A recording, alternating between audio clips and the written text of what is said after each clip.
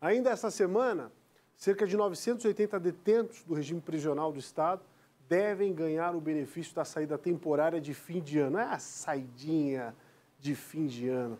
Gabriela Milanese, conta mais. Pois é, Polito, esse assunto é sempre muito polêmico, né? Lembrando que a saidinha de final de ano, como é conhecida, está prevista na lei, na lei de execuções penais para internos do regime semiaberto.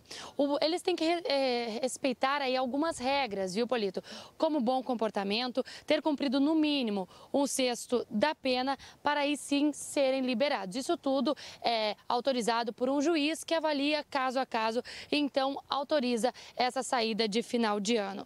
Aqui em Santa Catarina, mais de 1.500 apenados estão na lista de liberação para o final de ano no estado. A gente preparou uma tela aí para falar certinho os números para o pessoal de casa. A saída começou no dia 17 de dezembro e vai até a próxima quinta, no dia 30. Então, esses presos estão sendo liberados aos poucos. Desse total, aí, 609 já foram liberados e outros 982 deixam a detenção nos próximos dias, como eu disse, sempre em períodos diferentes. As saídas então acontecem até a próxima quinta, dia 30, e depois, lá no dia 7 de janeiro, depois das 5 horas da tarde, é que a Secretaria de Administração Prisional vai fazer o balanço, né, Polito? E aí que vem a polêmica, porque muitos detentos acabam não voltando para o sistema prisional. Mas é claro, a gente só vai saber esse balanço lá no dia 7,